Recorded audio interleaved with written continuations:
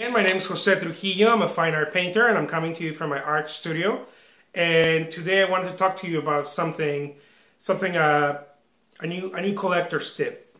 And this is, it helps to know a little something about the artist you are about to collect or you want to collect. And see what happens here is that is that uh, there is already information about about the artist, right? You have the resume or the you know the the gallery what exhibits and all of this, you know, the bio.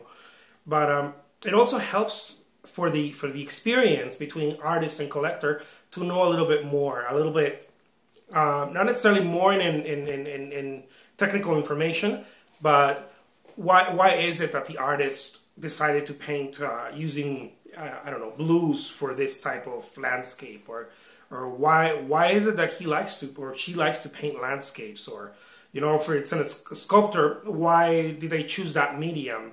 Go a little bit more um, personal, I guess, more personal questions.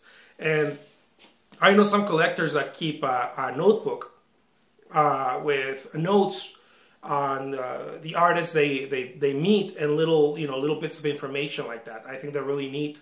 So for when you are collecting artwork in the future, you can you can attach those if you're reselling the artwork or you are keeping it for your family, you can you can attach it on the back of the painting as something a little something extra, you know that that you know about the artist and that you had this conversation with the artist. Uh, again, I hope uh, this tip helped. My name is Jose Trujillo. I'm a fine art painter, and thank you so much for watching.